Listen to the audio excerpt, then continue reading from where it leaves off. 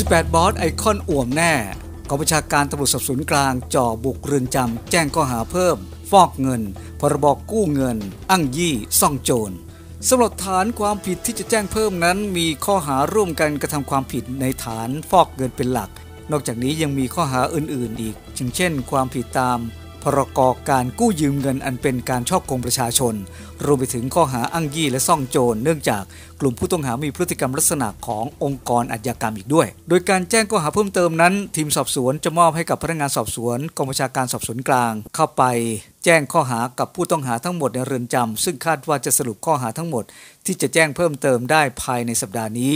ซึ่งชุดพนักงานสอบสวนจะประสานงานกับทีมสืบสวนที่มีตำรวจ กองปราบปรามเป็นตัวหลักในการตรวจสอบเส้นทางการเงิน และทรัพย์สินของผู้ต้องหาแต่ละราย เพื่อให้ได้หลักฐานเชื่อมโยงไปสู่การกระทำความผิดฐานฟอกเงินด้วย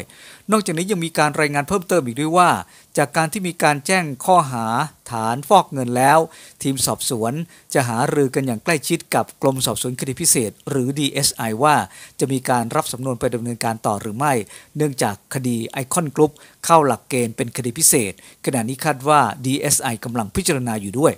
ส่วนการขยายผลไปสู่การจับกลุ่มตัวผู้ต้องหากลุ่มที่ 2 นั้นขณะนี้พนักงานสอบสวนกำลังรวบรวมหลักฐาน และใช้ชุดสืบสวนแกะรอย ซึ่งจะต้องมีการออกหมายเรียก หรือออกหมายจับผู้ต้องหาในกลุ่มต่อไปอย่างแน่นอน เช่น กลุ่มแม่ขายต่างๆ รวมไปถึงกลุ่มพนักงานของบริษัทบางส่วน ที่เกี่ยวข้องกับการลงนามในเอกสารที่มีผลทางกฎหมาย แต่ต้องใช้เวลาในการตรวจสอบหลักฐานอีกสักระยะหนึ่ง